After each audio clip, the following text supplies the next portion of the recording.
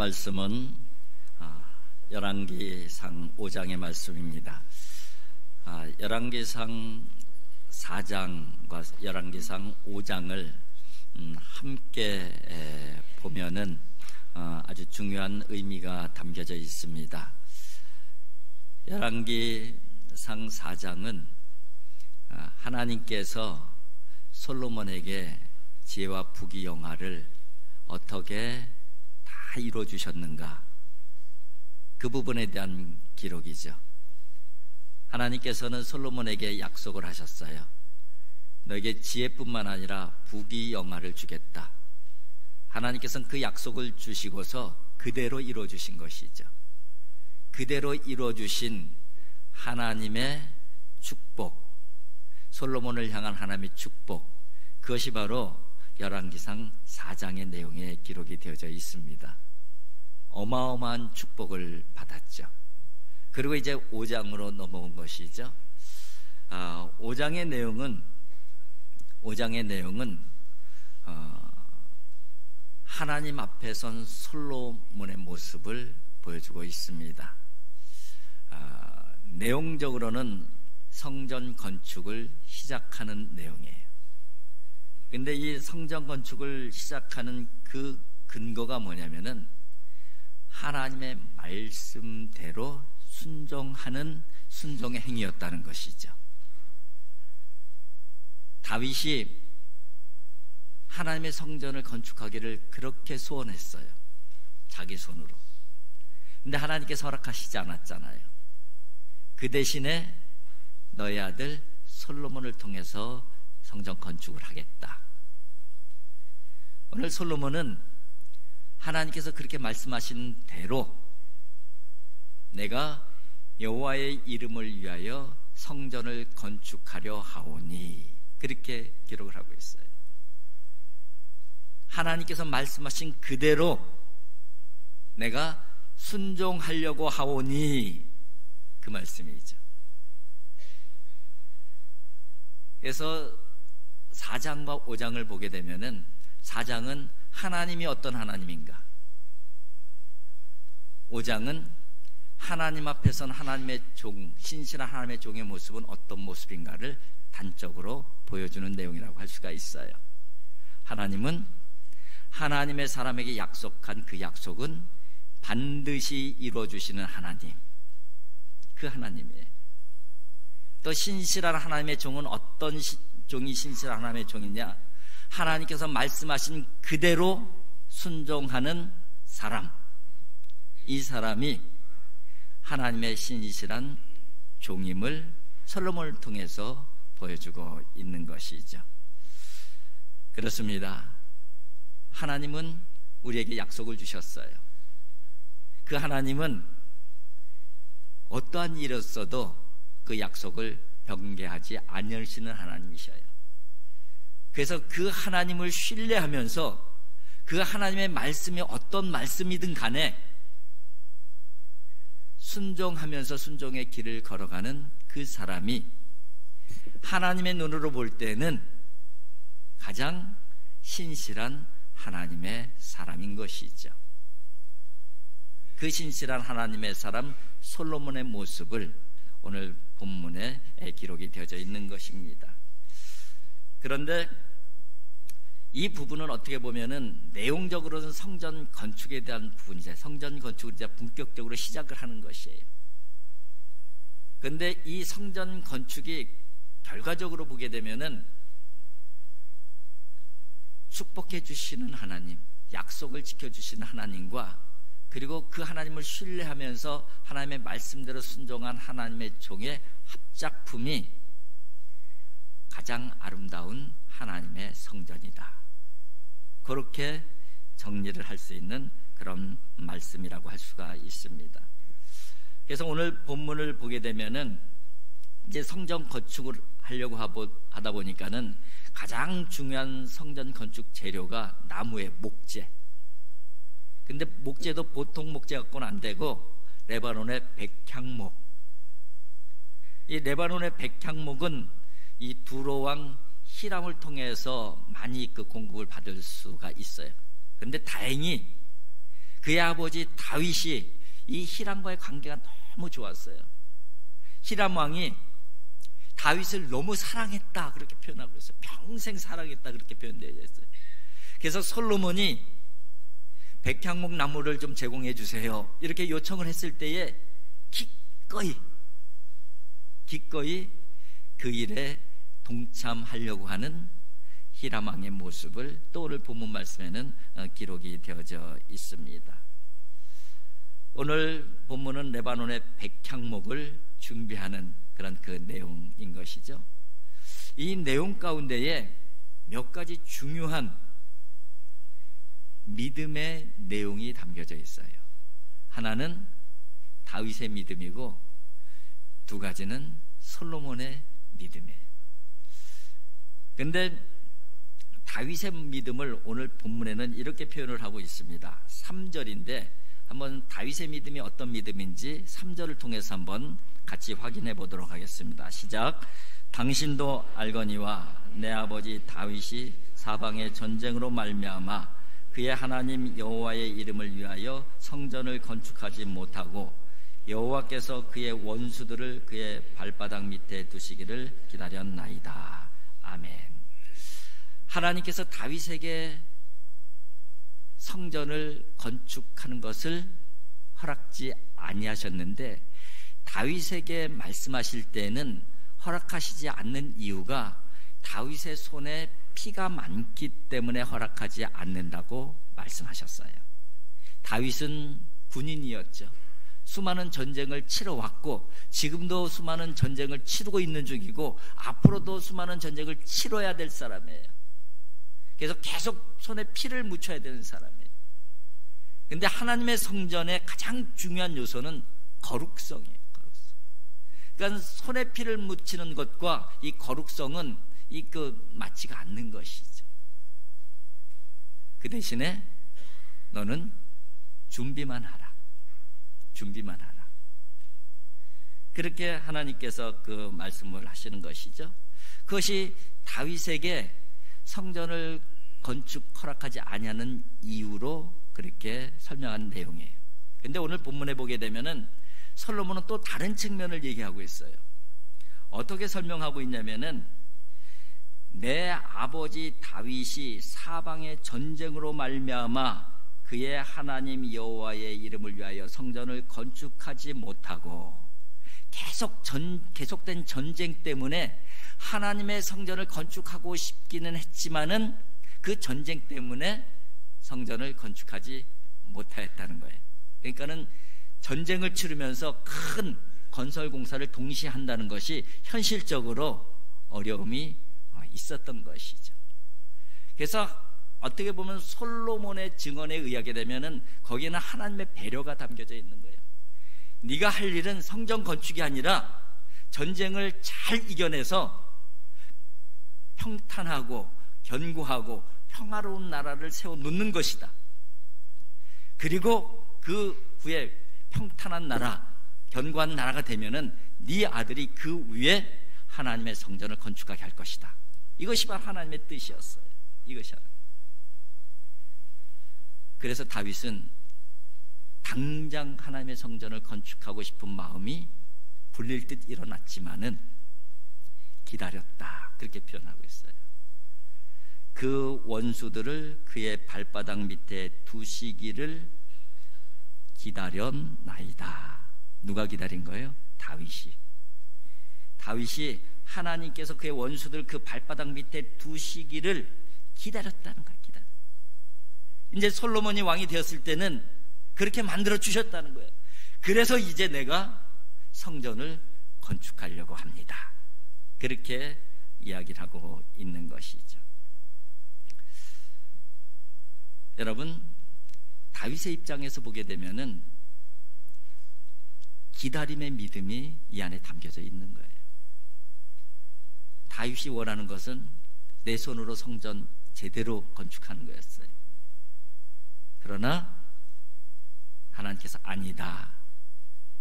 그러니까 하나님의 때를 기다린 것이죠. 뭐 하면서 기다렸어요? 준비하면서. 하나님의 때가 올 때까지 열심히 준비하면서 그렇게 기다린 사람이 다윗이고 오늘 본문 가운데 담겨져 있는 다윗의 믿음이라고 할 수가 있습니다. 이 기다림의 믿음은 성경에는 굉장히 많이 강조되어져 있습니다. 기다림은 어떻게 보면은 하나님의 은혜 자체가 기다림을 통해서 나타나고요. 하나님의 사랑도 기다림을 통해서 나타나고요. 어떻게 보면 믿음 자체가 기다림이라고 할 수가 있습니다. 성경의 기다림은 믿음이고 사랑이고 은혜인 것이죠. 오늘은 대림절 첫째 주일입니다. 대림절은 기다림의 계절을 의미합니다. 기다림의 절기예요. 기다림의 절기. 대림절의 유래는 주후 4세기 초대교회의 성도들을 통해서 지켜지기 시작했습니다. 당시에는 이 땅에 오신 예수님, 예수님의 탄생을 축하하며 감사하며 기념하는 절기였어요. 그렇게 절기를 지키다가 주 7세기 후반에 와서 하나의 의미가 더 더해집니다. 오신 예수님뿐만 아니라 오실 예수님, 다시 오시겠다고 약속하신 재림의 예수님을 기다리는 그 기다림의 절기고 준비하는 절기. 그것이 이 대림절의 의미에 포함되어지고 있는 것이죠. 그래서 이 대림절은 이 세상에 오신 주님을 기념하는 기념의 절기이면서 또 다시 오실 예수 그리스도를 기다리며 준비하는 준비의 절기라는 것이죠. 그리고 또 오늘을 살아가는 우리들의 입장에서 보게 되면은 그 주님께서 나에게 위로해 주심, 평화해 주심, 평강의 주님, 오늘 이 시간에, 오늘 이 자리에 내 삶의 자리 가운데 임해 주셔서 참된 위로를 주고 참된 평안을 주시기를 간절히 소원하고 사모하는 그런 절기가 되어지기도 하는 것이죠. 여러분, 이 대림절 기간 동안에 사모하는 마음으로 기다림의 믿음, 기다림의 은혜를 경험할 수 있는 복된 하나님의 사람들 되어질 수 있기를 주님의 이름으로 축복을 드립니다. 이 기다림이 이제 첫 번째 다윗을 통해서 나타난 그 믿음의 내용이고요. 그 다음에 솔로몬을 통해서 나타난 믿음의 내용은 두 가지인데요. 어, 그 또 하나가 순정이에요. 말씀하신 대로 내가 지금 건축을 하려고 합니다. 그 얘기는 뭐예요? 내가 말씀하신 그대로 순종하려고 합니다. 그 내용이길래. 오늘 본문 말씀 5절의 말씀입니다. 5절 한번 같이 읽겠습니다. 여호와께서 내 아버지 다윗에게 하신 말씀에 내가 너를 이어 내 자리에 오르게 할 내 아들가 내 이름을 위하여 성전을 건축하려 하신 대로 내가 내 하나님 여호와의 이름을 위하여 성전을 건축하려 하오니 그가 내 이름을 위하여 성전을 건축하리라 하신 대로 내가 내 하나님 여호와의 이름을 위하여 성전을 건축하려 합니다. 그러니까는 나를 좀 도와주세요. 그렇게 히람 왕에게 백향목 제공해 주시기를 주기를 부탁하는 내용이에요. 하나님께서 말씀하신 그대로 내가 순종하려고 하니까 당신이 나의 아버지 다윗을 그렇게 사랑하셨으니까 나를 좀 도와주세요. 어, 하나님께서는 다윗을 통해서 준비를 하게 하시고 솔로몬을 통해서 세우게 하셨잖아요. 근데 이런 방식의 하나님의 역사는 성경에 굉장히 많이 어, 기록이 되어져 있습니다. 우리가 잘 아는 대로 모세와 여호수아의 관계도 그래요. 모세가 광야에서의 사명을 열심히 감당했죠. 그리고 그 다음엔 정복 전쟁은 누가 감당해요? 여호수아가 감당을 하게 되는 것이죠. 이 초대교회 역사도 마찬가지예요. 초대교회 예루살렘을 중심으로 한 그 사역은 베드로가 짊어지고 그 사역을 감당을 해요. 그런데 이제 어, 유다와 사마리아 땅 끝까지 나가는 그 일들은 누가 짊어져요? 다윗 아니 그 바울이 사도 바울이 짊어지고 그 일들을 그 이뤄 나가는 것이죠. 다윗의 할 일, 솔로몬의 할 일을 하나님께서 따로 주셨어요. 모세가 할 일, 여호수가 할 일을 따로 주셨어요. 베드로가 할 일, 바울이 할 일을 따로 주셨어요. 여기서 중요한 것이 무엇일까요? 하나님께서 나에게 뭐를 맡기셨냐 하는 부분이 중요한 것이고 그 나에게 맡겨진 그 일들을 내가 지금 충성하고 있느냐 그것이 중요한 거예요. 그것이죠. 다윗은 자기에게 준비하라고 하신 그 명령대로 정말 열심히 준비를 해놓은 것이죠. 그래서 솔로몬이 그 준비된 기반 위에 하나님의 성전을 건축하는 세워가는 그 사명을 감당할 수 있었던 것이.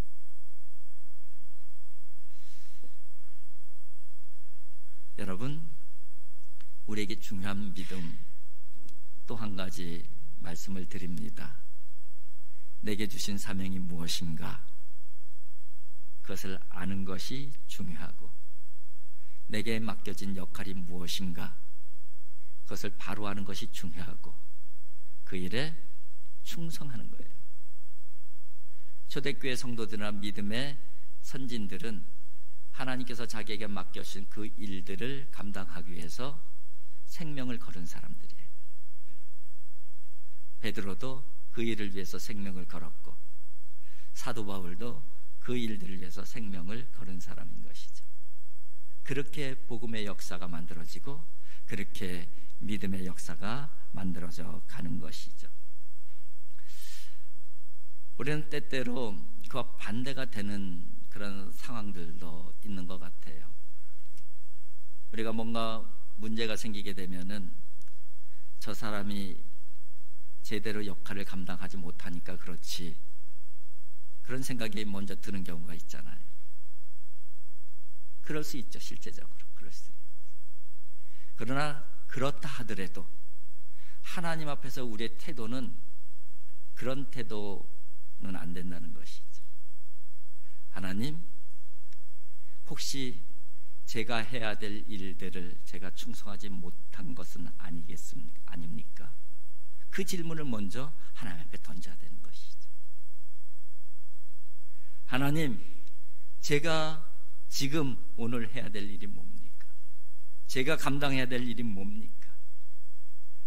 그 일들을 제가 최선을 다해서 감당할 수 있게 해주세요.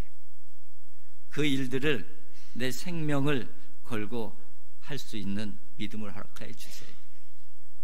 그런 믿음으로 우리가 한 사람 한 사람이 하나님 앞에 선다고 하면은 하나님께서 그 사람들을 바라보면서 어찌 하나님의 역사를 만들어 가시지 않겠어요?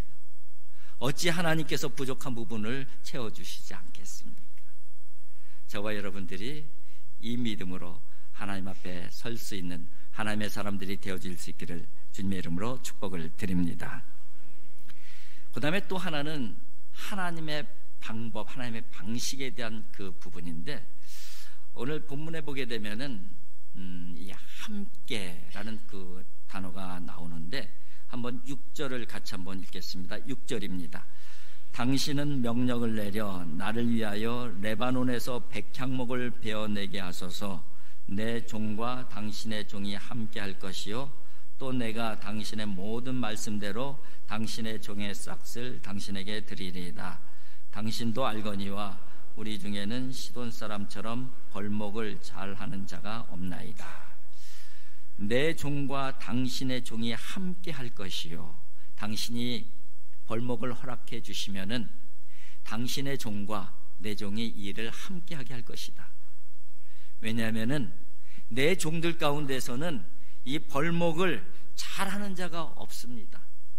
그래서 당신의 종이 나의 종들을 당신이 나를 도와주지 아니하면은 당신이 나의 부족함을 채워주지 아니하면은 이 일을 제대로 할 수 없으니까 당신이 나의 부족함을 좀 채워주시기를 바랍니다. 그 얘기를 하는 거예요. 여러분 지금 솔로몬의 상황이 어떤 상황인지 우리 알고 있잖아요. 하나님께서 엄청난 지혜를 주시고 명성이 자잔 때예요. 그리고 영토가 가장 넓은 영토 그 안에 모든 나라들이 솔로몬 앞에 머리를 숙이는 그런 그 상황이에요. 부귀영화가 그 어느 때보다도 찬란했던 그런 솔로몬이에요. 근데 그 솔로몬이 내 종들은 부족합니다. 뛰어난 벌목을 하는 사람이 내게는 없습니다. 내게 없다는 거예요. 내게 부족하다는 거예요. 당신이 좀 채워주세요.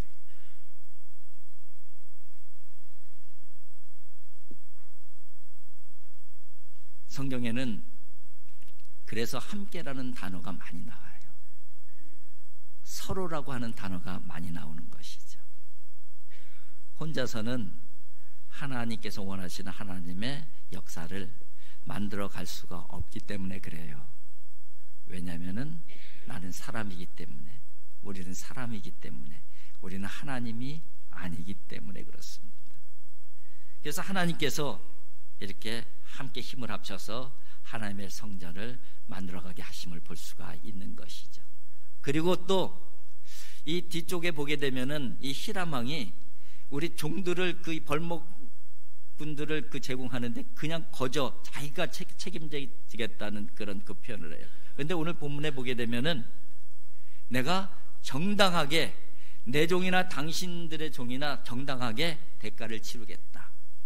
정당한 방법을 어, 택하고 있어요. 그런데 함께 하는 것도 중요하지만은 또 정당한 방식으로 하는 것이 아주 중요해요.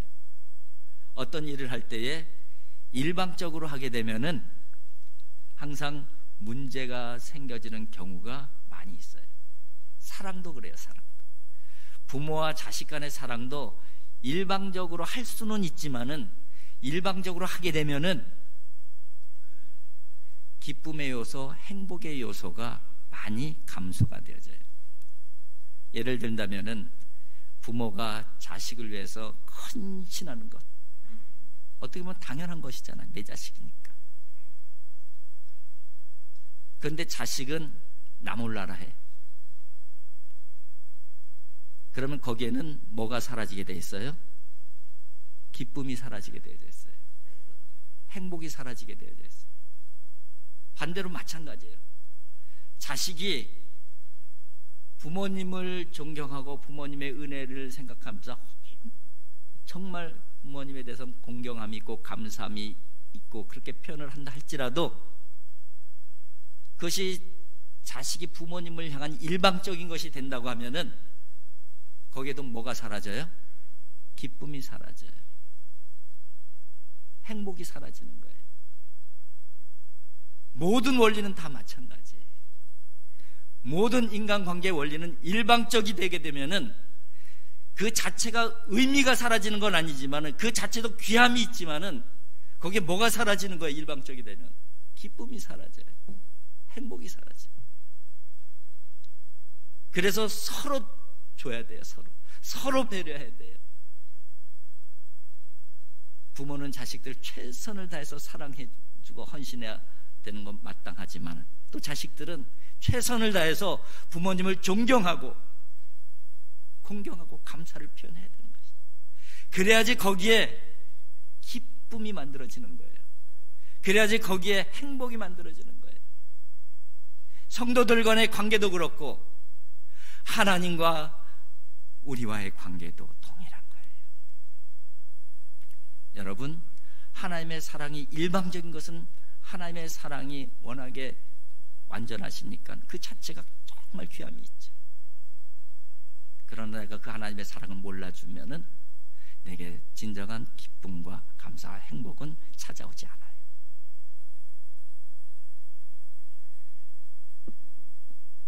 세 가지 믿음을 생각을 했으면 좋겠습니다. 다윗의 기다림의 믿음, 솔로몬의 순종의 믿음, 그리고 성전을 함께 자기 부족함을 고백하면서 함께 만들어가는 그런 동역자에 대한 믿음. 이 믿음이 있을 때에 우리의 삶의 자리 가운데서 정말 결실이 있는 믿음의 역사, 결실이 있는 하나님의 은혜의 역사가 저와 여러분들의 삶의 자리 가운데도 귀하게 나타날 줄 믿습니다. 이 대림절 기간 동안에 그 은혜, 기다림의 은혜, 순종의 은혜, 또 서로 부족한 것을 채워가면서 함께 나아가는 은혜가 있기를 주님의 이름으로 축복을 드립니다. 기도하